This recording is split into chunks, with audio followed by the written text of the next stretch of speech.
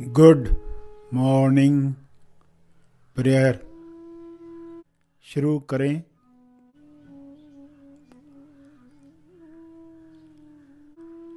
सीधा बैठें, मगर बिना तनाव के बैठें।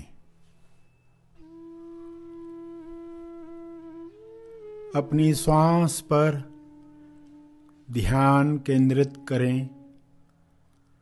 अंदर जाती हुई श्वास, फिर बाहर जाती हुई श्वास।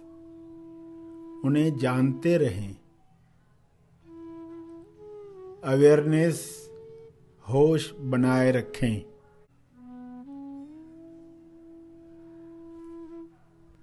बिना कोई कामना किए, श्वास को जानते रहें।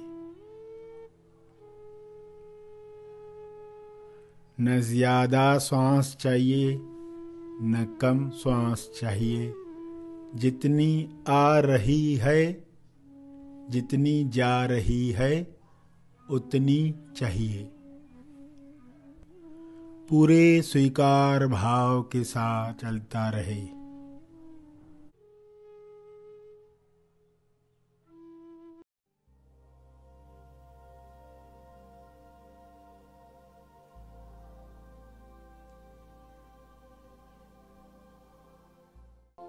प्यारे खोजियों, सभी आँख बंद करके आज के दिवस को सफल बनाएँ। ध्यान करें, प्रार्थना करें। उपवास्तु में निवास करने के लिए इंद्रियों का भी उपवास करना चाहिए। कर्म के फल से मुक्त होकर कर्म करना चाहिए। सौ प्रतिशत फल ईश्वर को समर्पित करने चाहिए। अनेक कर्मों के अनेक फल आ सकते हैं, लेकिन तीन में विभाजित किए जा सकते हैं। दुख, सुख, दुविधा। कुछ कर्मों के उपरांत इंसान को दुख प्राप्त होते हैं तो कुछ कर्मों के बाद सुख प्राप्त होता है और कुछ कर्मों के बाद दुविधा रहती है। इसलिए जब दुख आए, तब ईश्वर से कहें, मैं अपने कर्म का फल जो दुख के रूप में आया है, हे ईश्वर, तुम्हें समर्पित करता हूँ। दुख से मुक्त होकर कार्य पूरा नहीं होता। जब सुख आए, तब ईश्वर को कहें कि जिस कर्म से ये फल आया है, मैं वह फल आपको समर्पित करता हूँ। हे ईश्वर, सुख का फल आपको अर्पित। तो सुख दुख के पार आप तेज आनंद जो पहले से ही मौजूद है, वहाँ पहुँचते हैं। जब किसी कर्म से दुविधा निर्माण हो, तब ईश्वर से कहें, हे ईश्वर, द्विधा का फल मैं आपको समर्पित करता हूँ। इस तरह तीनों फलों को हंड्रेड प्रतिशत ईश्वर को समर्पित करें। और मुक्त हो जाएँ। कथाओं के पीछे, कथाओं के माध्यम से बिठाने का राज आपको समझ में आए अनुभव से जुदा होकर कोई अनाथ न बन जाए, कोई सत्य से बिछड़ न जाए, लक्ष्मी नारायण से बिछड़ न जाए सदैव अनुभव से जुड़े रखने की कामना है। इस कामना को शुभ इच्छा बनाओ, कर्मकांड नहीं बनाओ। जुदा होकर जुड़ने का आनंद कैसा होता है? उस आनंद को महसूस करो। सच्चे उपवास के बाद मिलने का आनंद जो है, वह सत्यम है, शिवम है, सुंदरम है। सत चित आनंद है। जो स्त्री के लिए भी वही है, पुरुष के लिए भी वही है। हे परमात्मा, विश्व के सारे स्त्री और पुरुष, इस सत्य को समझें और सही माने में उपवास्तु करना सीखें, जिसके असर में वे केवल शारीरिक स्वास्थ्य ही नहीं, मानसिक रिश्तों में स्वास्थ्य और आध्यात्मिक स्वास्थ्य भी प्राप्त करें।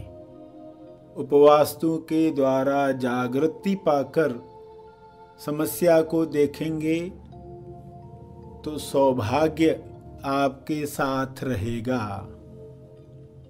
जो भी कथा सुने, उसे अमर कथा बनाएँ। जो हमारे अंदर अमर है, जो हर जीव में अमर है, उसके लिए व्रत किया जाता है।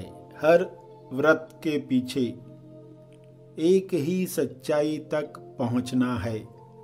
इसमें आने वाली बाधा तोलुमन है। वह समाप्त हो, अनुभव जुदा न हो, ताकि सभी को सत चित आनंद मिले। सूरज के आगे काले बादल आने की वजह से जो भ्रम तैयार होता है उस भ्रम को दूर किया जाए। भ्रम को दूर करने की दवा मिले। भ्रम को समाप्त करने की प्रार्थना मिले। उच्च कोटि का ज्ञान मिले। ये सबको मिले। सभी भरपूर लाभ लें हर दिन का। स्वास्थ्य प्राप्त करके हर दिन त्योहार है। हर दिन उत्सव है। सभी सही माने में उत्सव मनाएँ। ध्यान के अंत पर जो ध्यान में बैठे रहना चाहते हैं, वे ध्यान जारी रखें। जो आगे के कार्य में जाना चाहते हैं, वे ध्यान समाप्त करेंगे।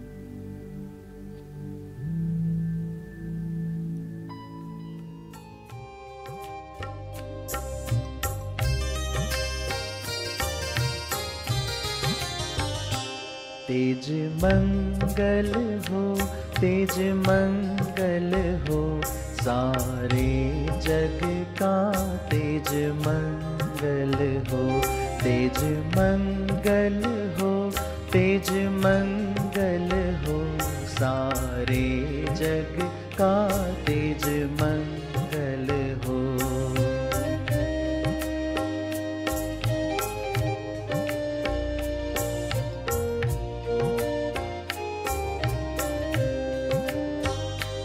तेज मंगल को अब तुम समझो, मंगल और अमंगल से दूर है वो।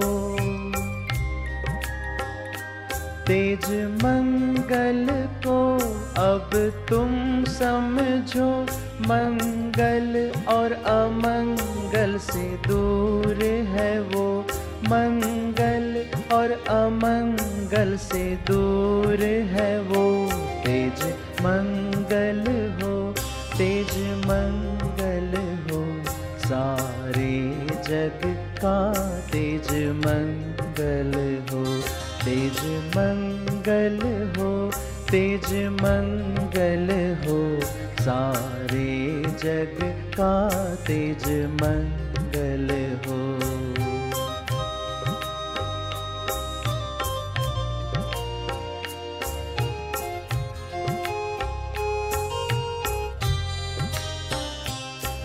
तेज आनंद हो तेज आनंद हो सबके मन में तेज आनंद